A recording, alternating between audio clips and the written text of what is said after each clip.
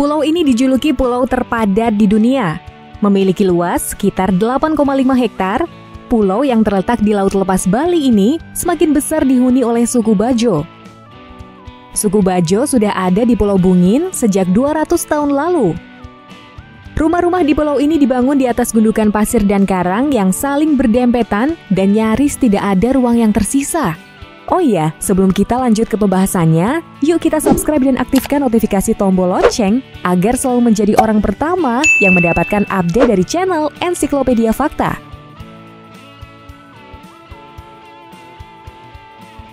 Tidak seperti pulau pada umumnya, di pulau ini Anda tidak akan menjumpai pantai atau pesisir.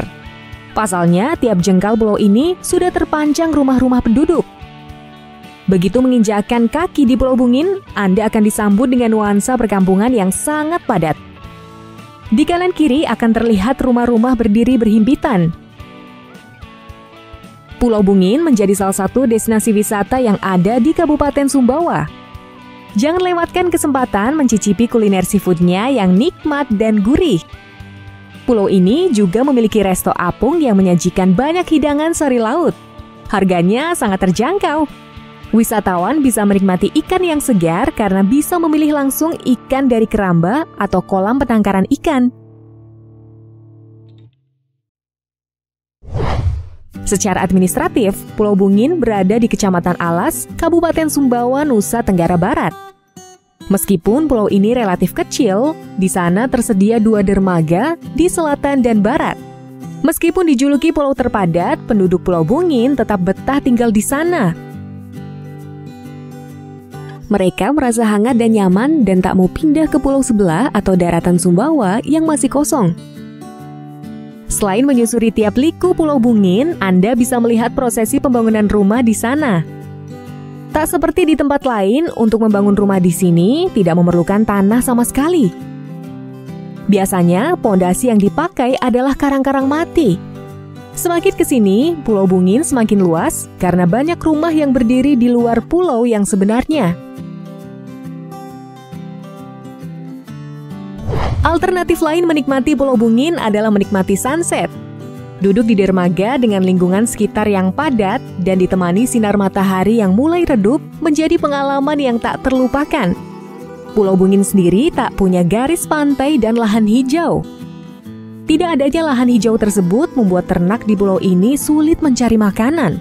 Saking sulitnya, ternak-ternak di sini bahkan terpaksa makan sisa-sisa kertas atau kardus suku Bajo. Sebagian besar warga merupakan suku Bajo yang berasal dari Sulawesi Selatan yang tiba di sini sejak lebih dari 200 tahun lalu. Di sini saya bertemu dengan Makadia bin Haji Muhammad Sagat, sesepuh Pulau Bungin. Pria yang lahir di Pulau Bungin pada 1937 ini merupakan generasi kelima dari warga pertama yang datang dari Sulawesi Selatan. Dia mengatakan suku Bajo yang berasal dari Sulawesi Selatan datang ke Pulau Bungin. Bungin itu dalam bahasa Bajo artinya gundukan pasir putih, dulu merupakan gundukan saja, tapi kemudian ketika dua orang akan dipersatukan, mereka membangun rumah dengan batu karang. Jelas maka dia. Pulau ini dulunya hanya merupakan hamparan pasir putih, tetapi kemudian mereka membangun rumah di atas karang seiring dengan bertambahnya penduduk. Saat ini lebih dari 3.000 orang tinggal di Pulau Bungin seluas 8,5 hektar sehingga satu rumah bisa dihuni lebih dari tiga kepala keluarga. Bila ingin menjelajahi Pulau Bungin, Anda bisa berkeliling sembari berbincang dengan penduduknya yang ramah. Dari daratan utama, Pulau Bungin bisa kita jangkau menggunakan perahu motor maupun melewati jalan buatan.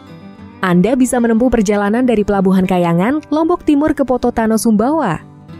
Perjalanan yang akan ditempuh sekitar 6-8 jam untuk sampai di Pulau Bungin. Tetapi, untuk mengatasi kekurangan lahan bukan perkara mudah.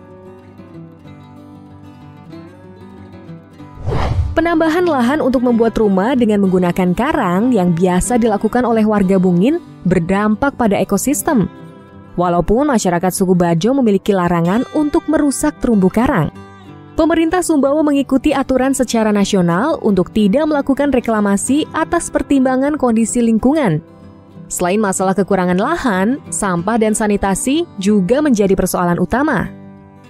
Memiliki keterikatan dengan tanah kelahiran, sehingga jarang sekali dari mereka yang hidup merantau di luar pulau.